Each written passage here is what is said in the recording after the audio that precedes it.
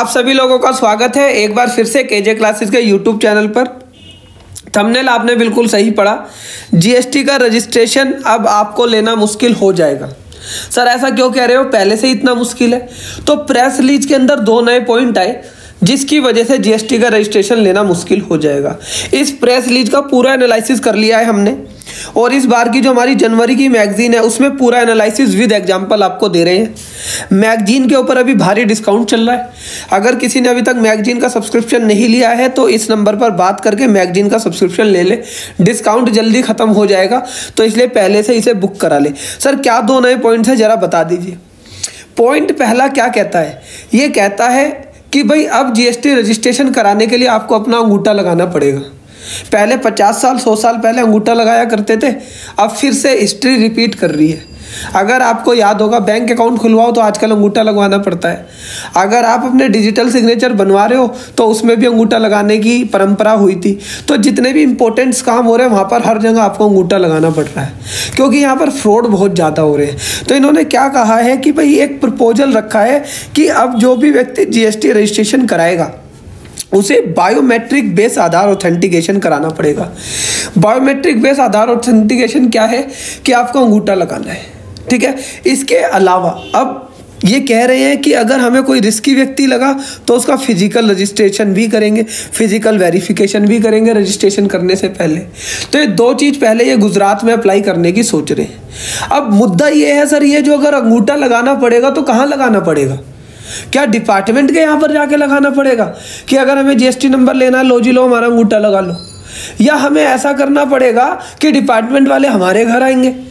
कि लाओ जी, लाओ, अपना अंगूठा लगाओ। नहीं, ऐसा नहीं होगा। मेरे हिसाब से होगा क्या कि जो भी व्यक्ति जीएसटी में रजिस्ट्रेशन कर रहा है, जो भी प्रोफेशनल रजिस्ट्रेशन कर रहा है, उसे ये कह दिया जाएगा कि भाई अब रजिस्ट्रेशन करने से पहले एक मशीन खरीद लो। इसकी एक मशीन आती है दो हज़ार, चार हज़ार, पाँच हज़ार रुपये की। एक मशीन खरीद लो और जो भी व्यक्ति रजिस्ट्रेशन तुम्हारे पास कराने आए, उसका पहले बायोमेट्रिक बेस आधार ऑथेंटिकेशन कराना। उसी के बाद उसका रजिस्ट्रेशन होगा। तो यहाँ पर प्रोफेशनल के लिए एक अपॉर्चुनिटी मिल गई कि आप इसके लिए अपना माइंड मेकअप कर लेना कि अगर आप जीएसटी रजिस्ट्रेशन की प्रैक्टिस कर रहे हो तो आपको पता होना चाहिए कि जीएसटी रजिस्ट्रेशन में क्या चेंजेज आ रहे हैं। सर क्या इसके लिए रूल में भी चेंज होगा? हाँ बिल्कुल। इसके लिए रूल एट और रूल नाइन को चेंज कर रहे हैं। क्योंकि रूल एट और नाइन जीएसटी रजिस्ट्रेशन की बात करते हैं, कैसे वेरिफिकेशन होगा तो उसमें भी अमेंडमेंट करेंगे। सर, इससे गवर्नमेंट को फ़ायदा क्या होगा? इससे क्या होगा, जो फ्रॉड रजिस्ट्रेशन होते हैं, उन्हें फेक और फ्रॉडलेंट रजिस्ट्रेशन को ये पकड़ पाएँगे। क्योंकि आधार कार्ड तो किसी का भी उठा कर लियो, पैन कार्ड तो किसी का भी उठा कर लिया, लेकिन अंगूठा किसका लेकर आओगे? ठीक है ना? तो यहाँ पर ये अंगूठा लगाने के सिस्टम से ये कह रहे हैं कि अब हम जीएसटी के फेक रजिस्ट्रेशन को रोक लेंगे। अच्छा एक दूसरा भी इन्होंने मेथड लिया है। दूसरा मेथड क्या लिया है? जब आप जीएसटी रजिस्ट्रेशन करते हो तो उसमें एक फॉर्म होता है R E G zero one ये अगर आपने हमारी गूगल ड्राइव ली होगी तो हम उसमें बताते हैं पूरा फुल कोर्स में कि R E G zero one के दो पार्ट होते हैं। पार्ट ए होता है पार्ट बी होता है।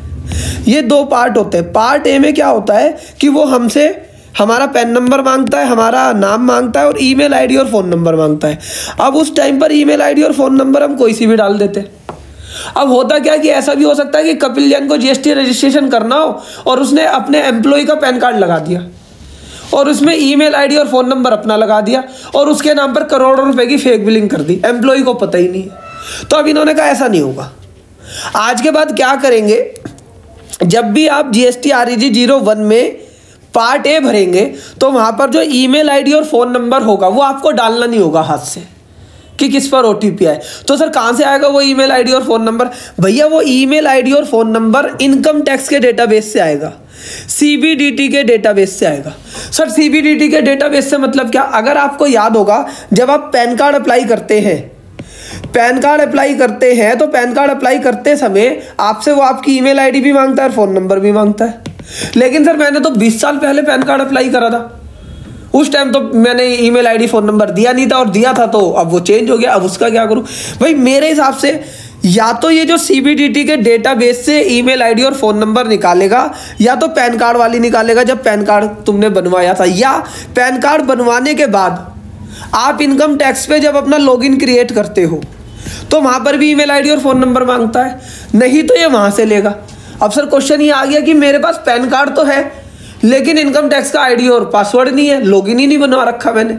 या लॉगिन बना रखा है तो उसमें मेरे प्रोफेशनल का गया हुआ है अकाउंटेंट का गया चार्टर्ड अकाउंटेंट का गया है। तो यहाँ पर आपको दिक्कत आएगी अब, क्योंकि यहाँ पर जैसे ही तुम आ रही G zero one form file करोगे, जिसमें पार्ट ए डालोगे तो वहाँ पर जो O T P based verification होगी, वो रजिस्ट्रेशन के टाइम पर उस ईमेल आईडी और फ़ोन नंबर पर होगी, जो कि सीबीडीटी के डेटाबेस में होगा। अब यहाँ पर क्या होगा सीबीडीटी के डेटाबेस में ऐसा हो सकता है, तुम्हारी ईमेल आईडी और फ़ोन नंबर डला ही ना हो। तो वहाँ पर तुम्हारी वेरिफिकेशन ही नहीं होगी।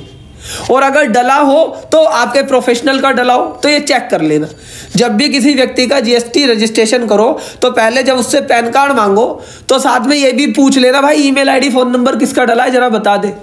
क्योंकि जब तक ईमेल आईडी फ़ोन नंबर पे ओटीपी नहीं आ जाएगा, तब तुम आगे ही नहीं बढ़ पाओगे। सर, ये ऐसा क्यों कर रहे हैं? ये कह रहे हैं कि, सर, इससे ना हम मिस रोकेंगे। किसका? कि किसी भी व्यक्ति का पैन नंबर लेके जीएसटी रजिस्ट्रेशन हो जाता है। हम उन एलिमेंट्स को रोकना चाहते हैं जो गलत एलिमेंट्स हैं। ठीक है? पैन होल्डर जो है, उसे पता होना चाहिए कि तुम्हारा जीएसटी रजिस्ट्रेशन होना है। इन्हें क्या बताएँ? जब ये लोग, जो फेक बिलिंग वाले अगर इस क्लोज को पढ़ेंगे, वो डरेंगे नहीं। वो कहेंगे, कोई बात नहीं, नया पैन कार्ड बनवा देते हैं अब। नए नए पैन कार्ड में अपना ईमेल आईडी फ़ोन नंबर डलवा देंगे। तो ये उससे भी आगे है।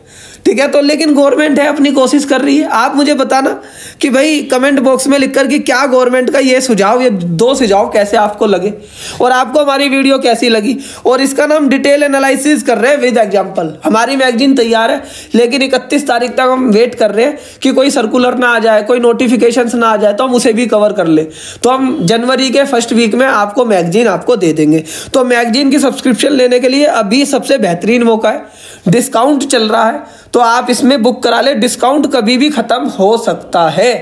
तो अपना रजिस्ट्रेशन करा ले। सर मैगजीन कैसे होती है? क्या होती है मैगजीन तो भाई, इस नंबर पर व्हाट्सअप करके सैंपल कॉपी ले ले, आपको पता लग जाएगी। सर, मेरी तो मैगजीन अभी एक्सपायर ही नहीं हुई तीन महीने बाद एक्सपायर होगी। अभी रिन्यू करा लो।